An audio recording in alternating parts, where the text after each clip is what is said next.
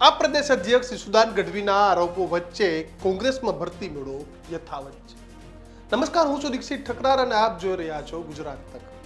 એક બાજુ આપના પ્રદેશ અધ્યક્ષ સુદાન ગઢવી આરોપ લગાડી રહ્યા છે કે કોંગ્રેસ કોના ઈશારે આમ આદમી પાર્ટીને તોડે છે, પરંતુ બીજી બાજુ શક્તિસિંહ ગોહિલ પોતાની રણનીતિ પર યથાવત છે અને રણનીતિ પ્રમાણે આમ આદમી પાર્ટીને તોડી રહ્યા છે.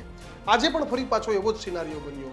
કોંગ્રેસના પ્રદેશ પ્રભારી મુકુલ વાસનિક ગુજરાત આવે છે, બેઠકો થાય છે, પરંતુ બેઠક થયા પહેલાં આમ આદમી પાર્ટીનો તૂટવાનો સિલસિલો શરૂ થાય છે.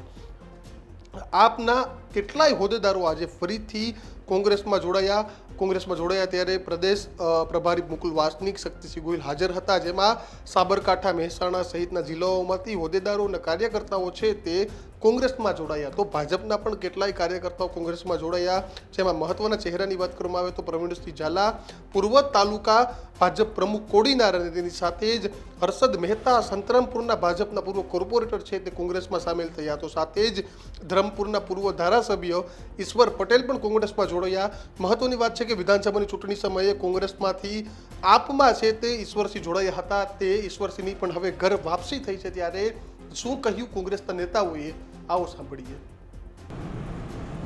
વિવિધ પાર્ટીઓમાંથી અને સામાજિક સંગઠનોમાંથી કોંગ્રેસ પક્ષમાં સતત પ્રેમ આશીર્વાદ અને સમર્થન આપવા માટે જોડાઈ રહ્યા છે સમગ્ર ગુજરાતમાંથી એ સૌનો ખૂબ હૃદયપૂર્વક આભાર માનું છું.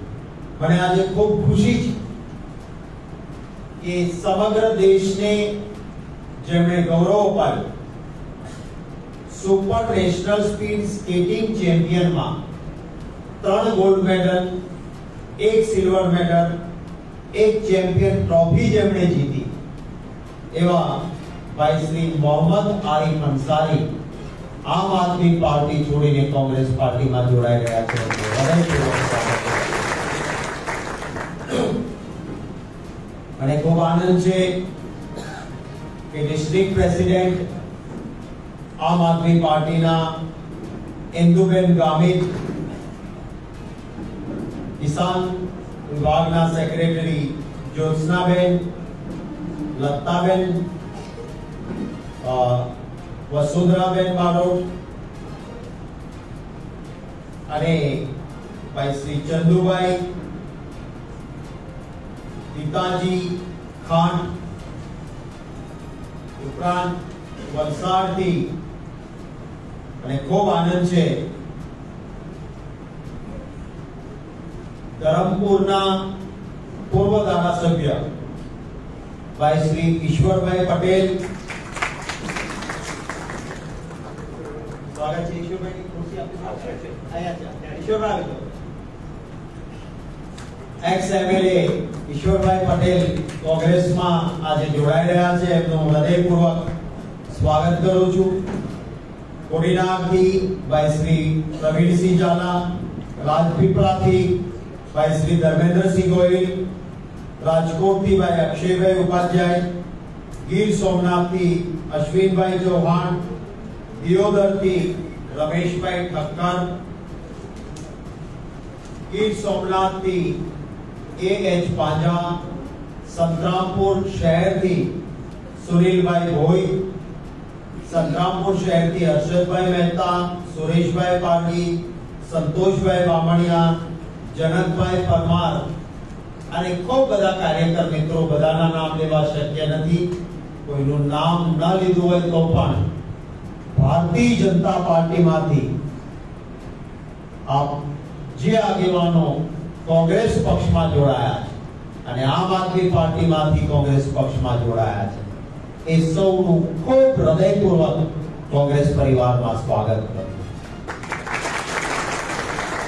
દૂધમાં સાકર ભળે અને દૂધની મીઠાશ વધે એમ તમે બધા કોંગ્રેસમાં ભળ્યા છો, એનાથી મીઠાશ વધવાની છે સંગઠન મજબૂત થવાનું છે આપ સૌનો ખૂબ ખૂબ હૃદયપૂર્વક આભાર માનું धन्य समझता हूं कि एक महत्वपूर्ण घड़ी में जहां पर बहुत से राजनीतिक और सामाजिक कार्यकर्ता गुजरात के विभिन्न जिलों में जिन्होंने पिछले कुछ समय से काम किया आज उन्होंने कांग्रेस के तिरंगे झंडे के नीचे आकर देश की सेवा करने का एक नया संकल्प लेकर कांग्रेस में प्रवेश करने का फैसला किया।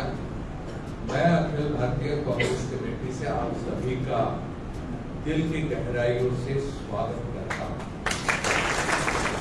मैं उम्मीद करता हूँ कि आप और हम सभी मिलकर, जो हमारे सामने गुजरात में और देश के सामने जो तमाम चुनौतियाँ हैं, उन चुनौतियों का हम डट कर मुकाबला कर पाएँगे और हमारे स्वाधीनता सेनानियों ने हमारे भारतीय संविधान के बनाने वालों ने जो भारत की परिकल्पना करी है, उस भारत को एक मूर्त रूप देने में हम सभी कामयाब होंगे।